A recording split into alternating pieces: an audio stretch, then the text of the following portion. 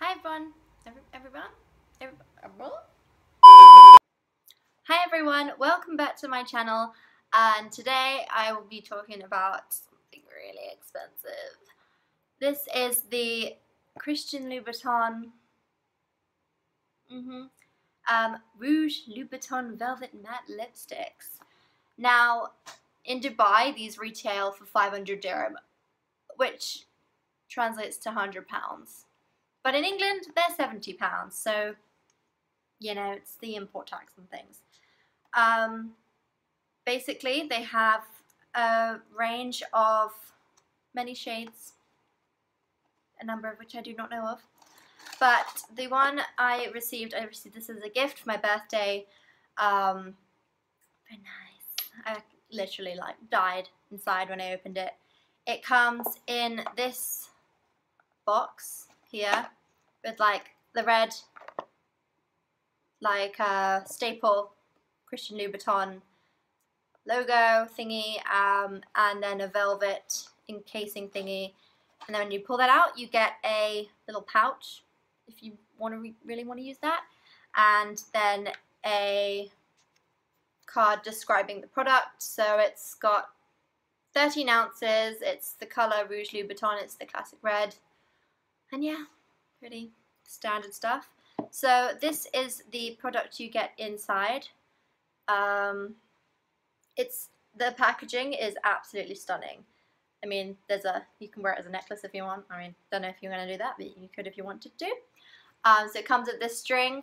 I, when I use it, I usually keep it in the packaging and take it out because it's kind of nice in there. Um, I'm wearing on my lips right now.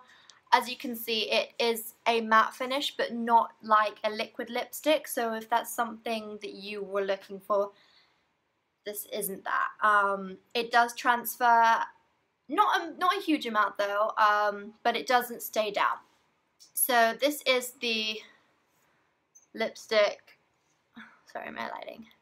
And it's got the like a sharp tip, the brand, and then the lipstick is quite standardly in there.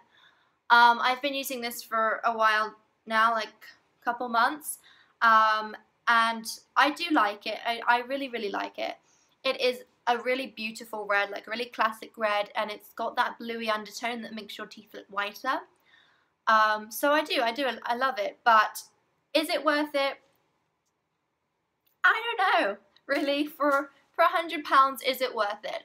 Um, I will say though, it does fade really nicely. Like some lipsticks leave a lip line when you've eaten. This doesn't do that. It fades really nicely.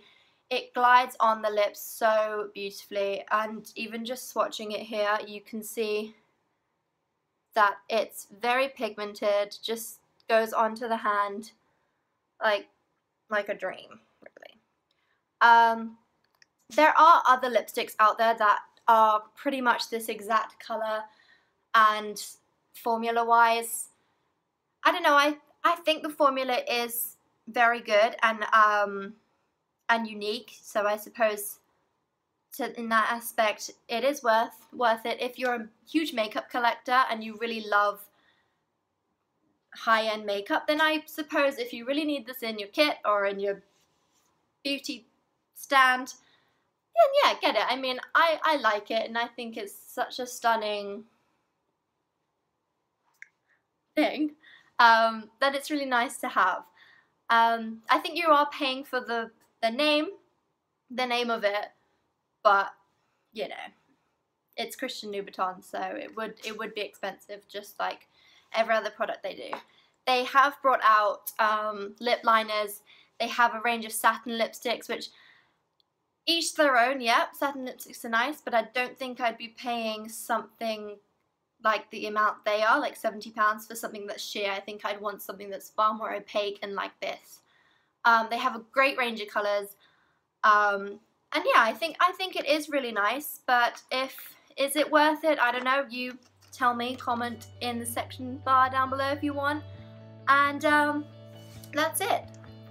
Thank you for watching. That's my video for today. And if you like, please subscribe or follow me on my Facebook, Twitter, or go to my blog. Bye!